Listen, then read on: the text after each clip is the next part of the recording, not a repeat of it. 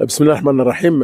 آه، الجزائريون كاع يعرفوا المثل اللي يقول سعيدة بعيدة والمشينه غالية لكن اليوم في الجزائر الجديدة وأنت تسألني لماذا ولاية سعيدة؟ سعيدة بحكم الإمكانيات التي وفرتها الدولة الجزائرية أصبحت سعيدة قريبة وال والماشينه متوفرة بحول الله تعالى وقوته. فعلا هي وحدة من ولايات الوطن العزيزة على قلوبنا وحدة من ولايات الوطن التي عانت في السنوات الماضية من التهميش ونحن مصرون في المجلس الأعلى للشباب أن تكون نشاطاتنا غير نمطية. لما نتكلم عن نشاطات نمطية لطالما ألفنا أن النشاطات تقام في بضع ولايات من من أرض الوطن معروفة. لكن حنايا نحاول الخروج على نمطية إقامة النشاطات وتوزيع التنمية في مختلف أنحاء وطننا. لماذا؟ لأن نحمل شعار شعار التوازن التنموي في هذا في هذا الوطن.